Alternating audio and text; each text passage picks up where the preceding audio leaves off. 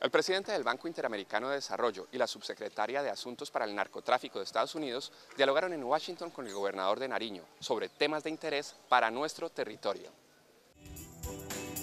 La importancia de la construcción de un aeropuerto de carga de carácter internacional para el departamento fue el tema que expuso el gobernador de Nariño, Eduardo Zúñiga al presidente del Banco Interamericano de Desarrollo, Luis Alberto Moreno, en su reciente visita a Washington.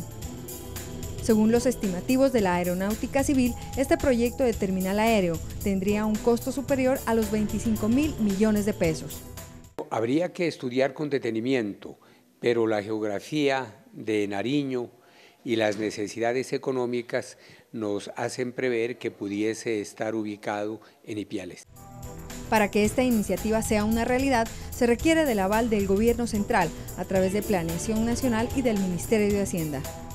El eh, doctor eh, Moreno reconoció eh, los grandes avances que hemos hecho en el campo económico en Nariño, reconoció que el departamento tiene capacidad de endeudamiento.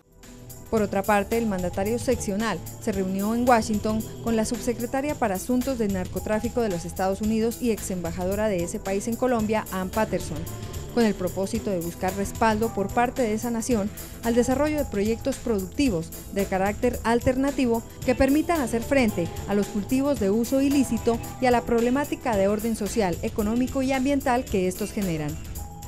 Lo realizado hasta este momento ha dado muy pocos frutos. Me refiero ante todo a la aspersión de glifosato. La funcionaria del gobierno de los Estados Unidos se comprometió a explorar nuevos mecanismos para acabar con el flagelo del narcotráfico, que es el principal caldo de cultivo del conflicto armado que padece nuestro territorio.